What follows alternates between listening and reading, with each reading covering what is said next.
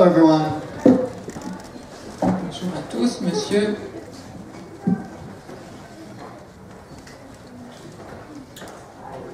Bonjour. Alors je vais vous parler tout d'abord d'Imperium, parce que c'est le film justement qu'on a découvert hier soir et que j'ai beaucoup apprécié. Alors j'ai une question pour le réalisateur et une question pour Daniel Radcliffe.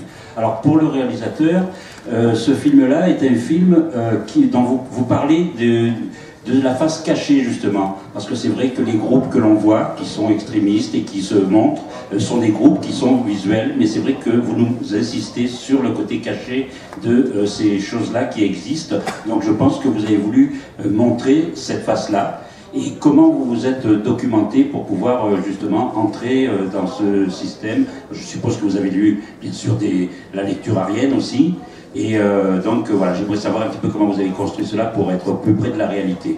Et ensuite, euh, Daniel Radcliffe, pour vous imprégner de ce personnage, est-ce que vous avez été obligé, justement pas obligé, mais est-ce que vous êtes comme le personnage que vous interprétez, documenté, lu beaucoup de livres justement qui parlaient de, de la race aryenne So, for the two of you, Daniel as director and Daniel as an actor, how did you have to deal with this subject that, in a way, is quite sensitive? I mean, there's a, a whole hidden side of the activities of this group. So, did you have to do a research work? Did you really have to?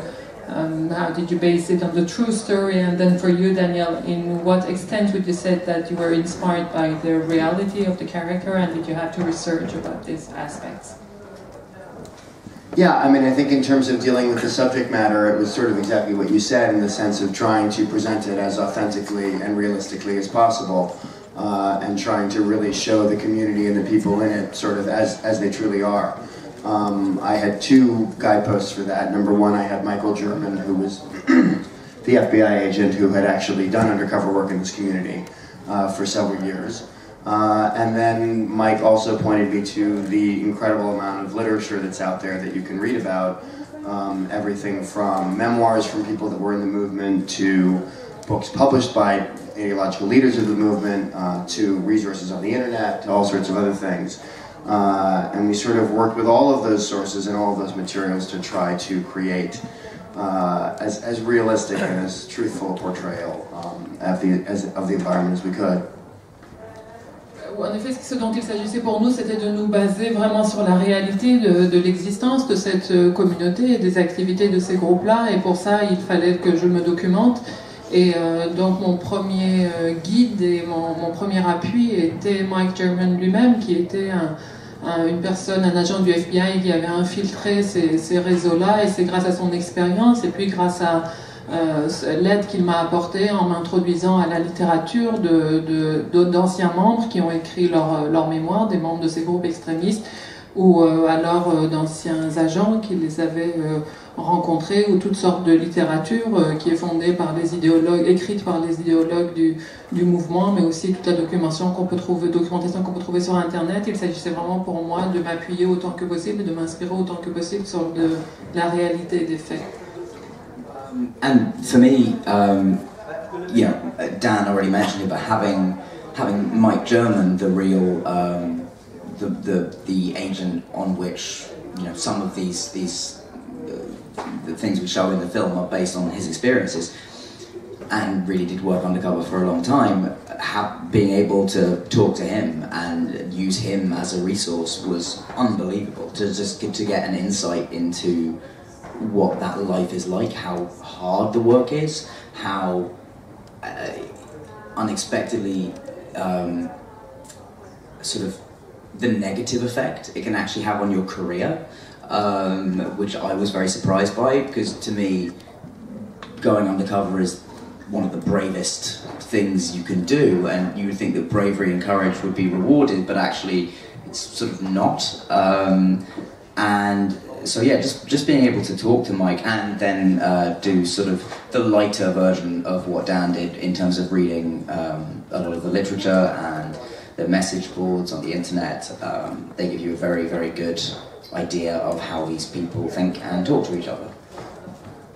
Euh, oui, effectivement, comme Dan le dit, moi aussi, je me suis beaucoup fondée sur la relation que j'ai pu avoir avec Mike German lui-même, lui avoir la possibilité de de, de, connaître la vision et l'expérience et le témoignage de cet homme qui a fait lui-même ce, ce parcours-là, qui a été, qui a mené cette activité clandestine au sein de ce groupe a été quelque chose d'extrêmement précieux. Et c'est très intéressant de voir euh, le, danger qu'il a vécu au jour le jour et de façon très paradoxale, l'influence très négative que peut avoir sur la carrière d'un agent du FBI le fait d'avoir euh, connu cette expérience. Moi, je m'attendais au contraire, parce que pour moi, cette, euh, cette mission est la mission la plus risquée, la plus courageuse qui soit, et je m'attendais à ce que dans ces carrières-là, le, courage soit, soit reconnu et, que ça donne lieu à la promotion de, ces hommes-là, mais bien au contraire, ça les, euh, ça, euh, entache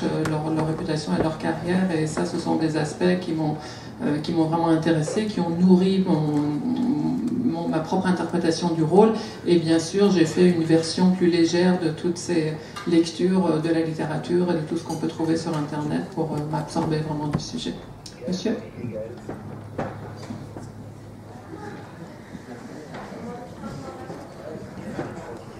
C'est une question pour Daniel. Je voulais savoir si, après la saga Harry Potter, il a eu peur d'être enfermé dans ce genre de rôle, il a eu peur pour la suite de sa carrière, et, euh, et est-ce qu'il a craint que les réalisateurs ne lui confient pas d'autres rôles, et comment il a rebondi justement juste après? So about the evolution of careers and unexpected turns that careers can take, how was it for you as an actor having been identified so much to Harry Potter and to this saga and series of film?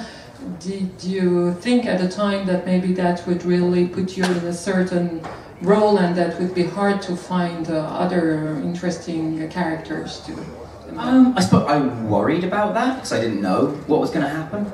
Um, but what I found very quickly was that if half the people, and I don't think it was that much actually, but if half the people in the film industry always are going to see me as Harry Potter, or could only see me as Harry Potter then.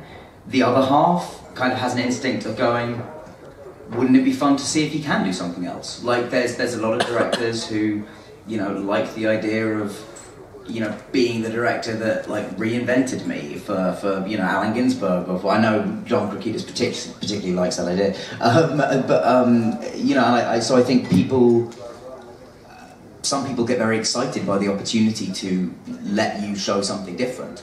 Um, and so you just have to sort of grab onto as many of those opportunities as you can. And, um, and I really looked at it like, you know, Potter was this amazing thing which gave me an incredible start. And I, I sort of felt like after that I, I had to kind of start again in a way and just like find out what kind of career I want for myself and what I particularly like doing and, and just sort of um, yeah, and I've been really really lucky because I've got to work on lots of very diverse projects. So I'm very happy, sort of five six years on from Potter now, that with how things have gone. Like if you told me, you know, if you'd offered this career to me when I was 19 or 20, I would have bitten your hand off. C'est une crainte que j'ai pu avoir. En effet, c'était une certaine inquiétude, mais j'ai toujours eu tendance à me dire que même si cette euh, Euh, cette dimension très, très restrictive pouvait s'appliquer à 50% de la profession, et encore, je ne pense pas que ce soit le cas, que eux me verraient comme un éternel euh, Harry Potter, il y aurait toujours 50 autres pourcents qui auraient la curiosité de, euh, de justement voir, de, de, de, se lancer ce défi et de me lancer ce défi, de voir ce que je pourrais faire d'autre.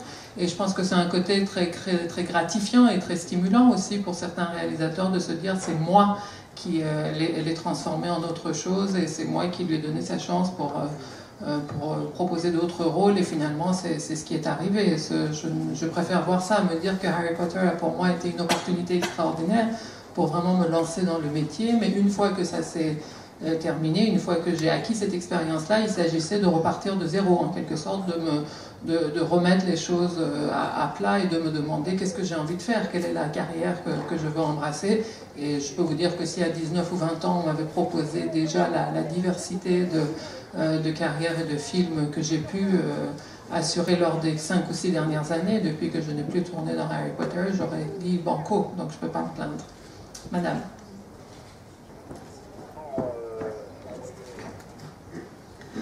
Pour rebondir sur la question, justement, le festival rend hommage à travers le nouvel Hollywood. Or, on connaît euh, Daniel depuis, euh, depuis sa tendre enfance, quelque part. Donc, est-ce qu'il y voit un hommage à sa, au virage de sa carrière? Et en même temps, je crois qu'on va lui donner un, nom sur une cabine où il y a une, liste énorme d'anciens acteurs. Qu'est-ce que ça représente pour lui, ce paradoxe entre la jeunesse et l'ancienneté? So about your career, it's quite interesting to see that here in Deauville, when they want to pay tribute to you, they give you the New Hollywood uh, Award, which uh, for us is a bit surprising because we seem like we, we, we feel like we've known you forever and we've been with you for, for a while now already. But at the, at the same time, uh, your name will be on, on, one of the cabins here on Deauville's beach beside many great American and historical actors. So do you feel that maybe here you pay tribute as someone who has a new turn in his career, or how do you see this paradox of uh, where we can put you on the landscape of uh, actor? Yeah, I, I, think you're absolutely right. I mean, it, it, was, you know, when I heard that that was the, the sort of category I was being honoured under, I was very, I was really incredibly happy, um, but also very surprised because I do, I, you know, I think I used to get uh, kind of jealous of like friends of mine, like um, Dane DeHaan on, on, on Kill Your Darlings, or you know, I remember watching. I remember watching actually James McAvoy way before I'd worked with him, watching him get his Best British Newcomer award, and I remember thinking like, oh man, I'll never get one of them because people are just used to me by now, and I've just always sort of been around. Um, but and and and you know when I when at the time that my sort of star was rising initially, I also like wasn't I don't think I wasn't a great actor. So like it was you know it's, it's hard to give that award I guess. Um, so for me, what's very very what's genuinely incredibly special about uh, this this honor is that um, it it does seem to be in some way yes, it's for recognizing Potter, but it's also recognizing, I think, what I've done since, um, and and you know, it lets me know that I'm kind of on the right track and I should keep going. Um, and uh, you know, in terms of the great actors that I'm going to be beside on the on the beach, yeah, I mean, I don't that that will never be. Um, normal to me to, to, to, that, that I would be alongside a lot of those people um, but just as it's not normal to me that I would I would get you know be associated with something that you know such amazing people have won in the past. You know, it's always very um, it's lovely and surprising. Oui, je dois, je dois, vous dire en effet que moi aussi j'ai eu un peu cette réaction-là quand j'ai su qu'on voulait m'accorder euh, ce, privilège, ce prix-là. D'une part, j'ai été très heureux, très flatté, mais d'autre part, je me suis dit tiens, c'est bizarre parce que toute ma vie j'ai cru que j'étais passé à côté de cette possibilité-là et j'étais assez jaloux de, voir euh, des confrères qui se voyaient remettre des, des prix de révélation en me disant moi euh, c'est trop tard, je suis déjà là depuis longtemps et, et on ne m'a jamais vu me, me, révéler et après tout peut-être que ce n'était que euh, que justice, puisque je trouvais que j'étais pas si bon au moment où je commençais, donc il n'y avait pas grand-chose peut-être à, à reconnaître ou à récompenser. Peut-être que finalement ce prix-là, à ce moment-là, vient euh, reprendre acte du travail que j'ai fait sur Potter et aussi le travail que j'ai fait depuis. Peut-être qu'on est en train de me faire signe que je suis, que je suis le bon chemin et que l'évolution que j'ai pu donner à ma carrière après cette série-là est la bonne. Moi, en tout cas, je, je veux le percevoir tel quel, me, me dire que je, euh, je suis sur la bonne route, qu'il faut que je continue de cette façon-là. Et pour ce qui est de me retrouver sur ces cabines euh, avec euh, ces grands acteurs, je m'y ferai pas. Moi, je me ferai jamais à l'idée de, de, de, faire partie de, de ces personnes-là, de côtoyer ces, euh, ces grands noms-là. Je n'en suis pas encore revenu. Ici au premier rang. Hello, Daniel Daniel. I will try in English, so be kind, please. um, uh, my, my French is terrible, so you're already doing okay. way better than Thank you. uh, first of all, thank you very much because I like Imperium and great performance. It was like DiCaprio on Depart, very great. Uh, I have two questions for both of you. Uh, first of all, did you have uh, some nightmares during the set because of the subject? And do you want to dedicate this movie to Donald Trump? I don't think either of us want to dedicate anything to Donald Trump. yeah, um, did I have nightmares? No, um, but we did have some very interesting things happen when we were filming. You know, we, we were a relatively small film crew, and there was one scene where we were doing a you know a big, the big sort of white supremacist rally marching scene, and you know from a distance. Nobody sees the one camera we have running. They just see guys in hoods holding banners. So people thought we were a real uh, thing, and and we had to be and like you know cars full of African American families would drive by and they were greeted by like the friendliest skinheads in the world. So we'd always turn around and be like, no no no, this isn't really no no we don't really feel any of this. Um, and uh, so it was that, and and then just you know using some of the language. You know, I, I know I'm an actor, and everyone knows it's acting, and we're making a film, but you know those words have power for a reason, and they they are very unpleasant to say. Um, and uh, and yes, no, no to the Donald Trump thing. yeah, I mean, I think it, you know, for me, actually, one of the most difficult periods is probably at the very beginning because uh, there was a real immersive research period uh, where I spent about four months probably reading this material just about seven days a week. Uh, which is really, really very intense. Not only because uh, the, of, of the worldview itself is so dark, um, but also because the people uh, that have these viewpoints are so committed to them and have such conviction about their beliefs, uh, which is which is quite unfortunate. And so you start to begin to despair that these people can ever have their minds changed or be convinced that there's another way. Um, you know, that being said, it happens all the time that people change their mind and they come out of this movement and, and they and, and, and they change their views. So. So I think that was difficult because it was such a, a an intense introduction to this whole world. Um, but then after a while, I, you know, you just sort of become used to it and you learn how to deal with it. And, and by the time we got to the set and we were shooting, certainly for me, it was already a world I had lived in for a long time, for better or for worse. And then it was all about taking the various crew members and the actors uh, and bringing them into that world so that they could deal with it and present it the right way. Donc la, question de savoir si on a eu des, si on a fait des cauchemars pendant le tournage en raison de la, de la dimension assez euh, sombre et, terrifiante du sujet, non, dit Daniel, moi je, ne pense pas avoir eu des cauchemars, mais cela dit, on s'est retrouvé parfois dans des situations assez étranges et limites, puisque finalement on était une assez petite équipe, euh, on n'était pas une équipe très visible, et quand on tournait des scènes comme par exemple celle de cette marche, de cette euh, manifestation euh, fasciste. Euh, ce qu'on voit maintenant, ce qu'on voit, on ne voyait pas, quand, on avait une seule équipe, les gens qui passaient par là ne, voyaient pas qu'il y avait une caméra, ils voyaient juste des crânes rasés et, des gars qui avaient l'air un peu effrayants, et donc des gens passaient et ils avaient peur de nous, et nous on était un peu embarrassés parce qu'en même temps il fallait qu'on se concentre sur notre jeu et sur le tournage et qu'on leur dise non, non, non, on n'est pas vraiment ce que vous croyez c'est pas comme ça que ça se passe. Donc, euh, et puis, euh, il y avait à la fois des, scènes comme ça, et il la difficulté de dire ces choses-là, de, proférer des, paroles aussi haineuses et aussi, aussi violentes. Euh, évidemment, je sais que je suis un acteur et je sais que tout ça, c'est un film, mais en quelque sorte, il y a le poids des mots, il y a la, la valeur de la parole qui ne peut que, que, déteindre sur vous et vous impressionner au moment où, où vous jouez. Donc ça, ça, peut être un peu gênant. Et pour ce qui est de savoir si je dédie ce film à Donald Trump, non, même pas ce film, c'est trop bien pour lui, je ne lui dédie rien du tout. Et euh, donc Daniel me dit, pour moi, la phase la plus difficile a été auparavant, dans la phase de préparation, puisque j'ai passé quatre mois de ma vie à lire euh, ces textes-là, ces écrits euh, fascistes sur la suprématie de la race blanche 7 euh, jours sur 7, euh, tous les jours. Et donc, je me, j'étais, ça, m'a vraiment affecté, ça me perturbait, pas seulement en raison de cette vision extrêmement sombre et, et désespérante, mais aussi parce que je voyais la conviction de ces personnes-là. Je voyais à quel point ils étaient complètement engagés et, et partie prenante, et je me disais qu'en fait, il n'y a pas moyen de leur faire changer d'avis. C'est ça qui me désespérait le plus, c'est de voir à quel point ces personnes étaient convaincus par la cause qui était la leur.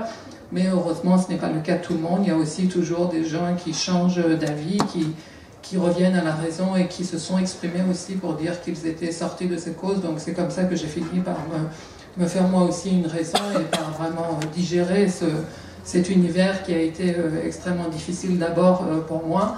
Et euh, une fois qu'on en est venu sur le plateau, il s'agissait simplement de le transmettre aussi bien à l'équipe et, aux acteurs pour pouvoir faire le film dans les meilleures conditions possibles. Euh, monsieur derrière.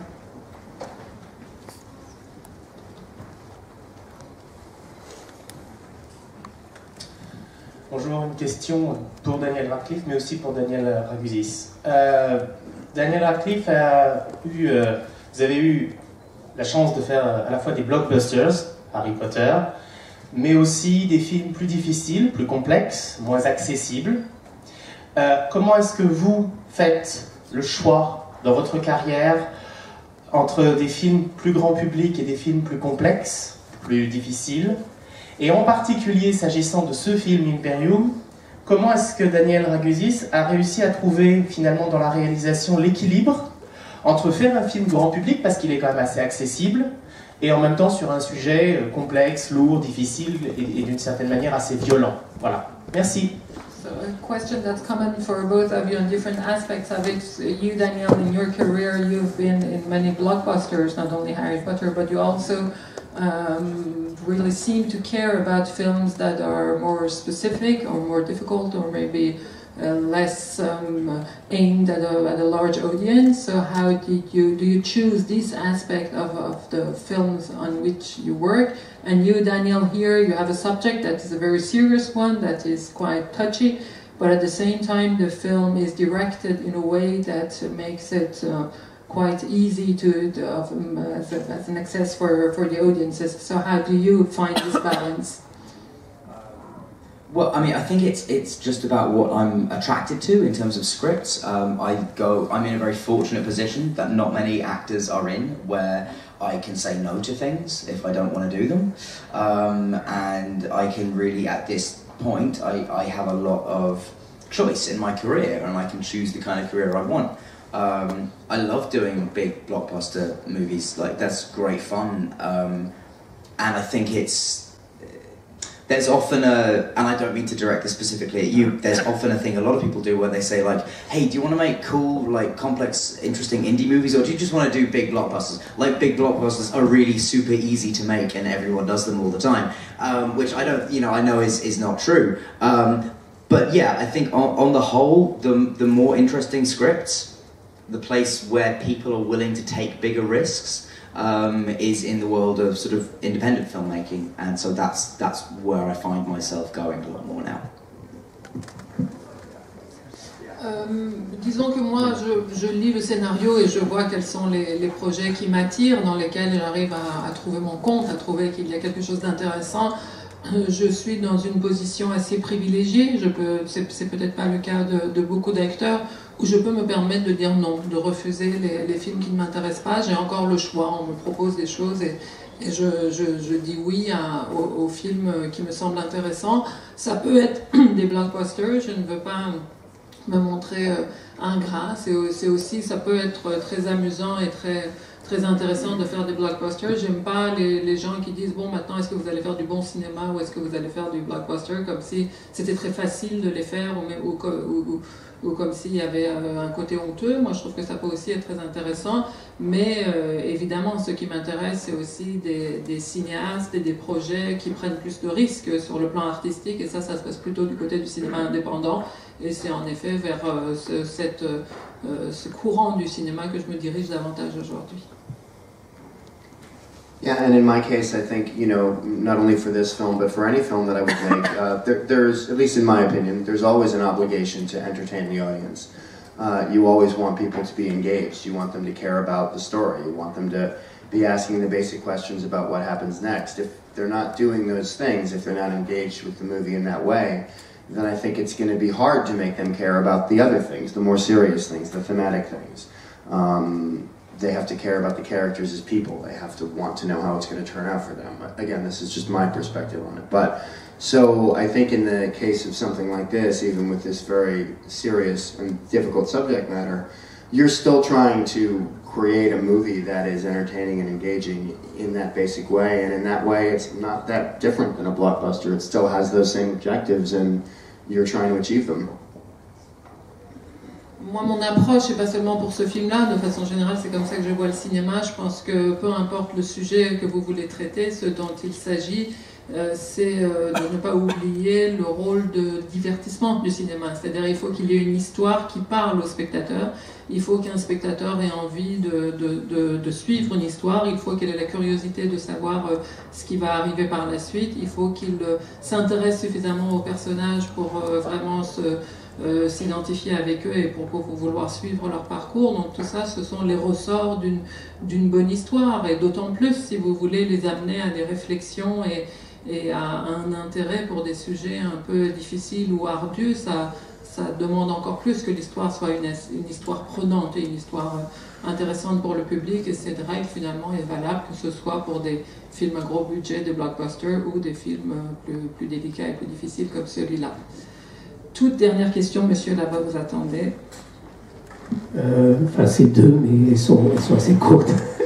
Euh, la première, c'est sur ces groupuscules, les fraternités, etc., blanches.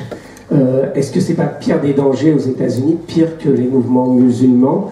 Et la deuxième, ce que raconte un peu le film, c'est cette, à la fois cette liberté de parole qu'ils ont aux États-Unis, ce qu'ils n'auraient pas chez nous, et en même temps tous les actes qu'ils peuvent commettre. Quel est leur avis là-dessus sur, sur le fait qu'on qu'on puisse un peu tout dire et en même temps c'est à la fois dangereux? Maybe a more general question about these white supremacist um, groups that there are in the US. Do you feel that they are more of a concern or a threat for the US now that the Muslim group may, may be in the in the future of the US? And what's maybe quite striking for us here is to see the freedom of speech and and of act that they have in the US that the same kinds of group wouldn't have here in France. What how, how do you feel about that? Um, well, I think, you know, to be clear, there's different kinds of dangers, right? So there's the dangers that are communicated uh, by terrorist groups, right, by what's going on in the movie. Uh, and in that case, um, it, it is a fact, as, as Mike German has pointed out, that more people die from violence uh, from these groups in the United States, far more people actually, uh, than from Islamic-based groups or any others. Uh, I think the other thing that's difficult is there's also a political danger in the sense of, you know, another thing that Mike German would say is that the difference between groups like these and, for example, ISIS is that you don't have politicians in the United States running on ISIS-oriented platforms. You do have politicians running for elected office on, on, on strictly racist platforms.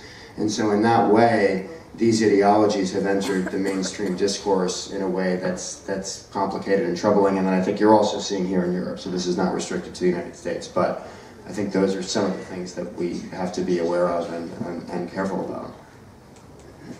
Euh, oui, en effet, comme le dit d'ailleurs le, le, personnage de, de, Mike German et comme on y fait allusion dans le film, il se trouve très statistiquement et concrètement qu'aujourd'hui aux États-Unis, il y a différentes sortes de dangers, mais, mais en ce qui concerne le danger terroriste, il y a plus de personnes qui sont victimes des violences perpétrées par des groupes de ce type que par des groupes qui, qui, sont censés euh, défendre l'islam. Aujourd'hui aux États-Unis, ça, c'est un fait.